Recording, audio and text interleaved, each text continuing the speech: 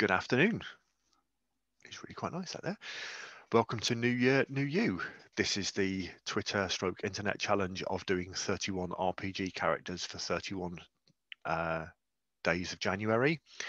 Uh, me being me, obviously, I've done 31 characters in 31 different systems because I've got more than 31 different systems. I've spared you things such as Anima Beyond Fantasy, beautiful, well translated, and quite complex. I spared you things like Mythus, which is a Gygaxian. It is well, it's Gygax's second game uh, for I don't know, crikey, GDW Games Design Workshop after he left TSR. Yeah, I, I like it.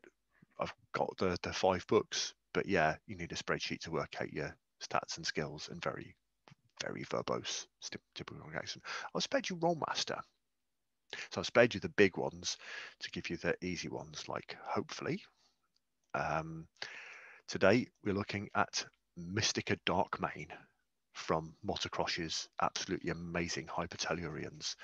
This is another one of those small format, simple rules um, kind of games, and it is uh, fantastical adventures through the Ultracosm. Uh, Mystikka Darkmane is a um, occult totalitarian femme fatale.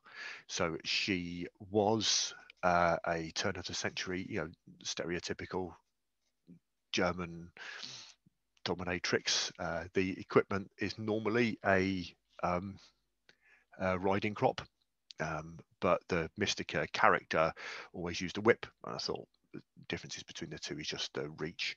Still light, light weapon doesn't do much damage, but it does a lot of pain easily ripped, sleek, and sexy uniform. So she's wearing possibly an SS style thing. Uh, Mystikka Darkmane was based on a miniature that I had that was wearing a black corset, thigh high boots, and a black kind of half shawl cape thing. Um,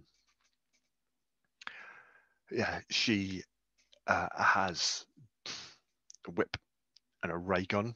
Uh, she knows quite a bit. So she is like the stereotypical uh, occult Nazi Cthulhu Deep Ones uh, starborn seeking sorceress uh, and seeking power. She is looking for a way, possibly or hopefully, to get back to her home plane and home planet and home realm with all this knowledge that she's gained of the um, the ultracosm and use that to win the war and so on. And yeah, so Mystikka Darkmane from Hypertellurians. Uh, I don't think I've done a and bolts for it. It's quite simple one. I might get on that at some point. Um, take care and stay safe. We'll see you soon.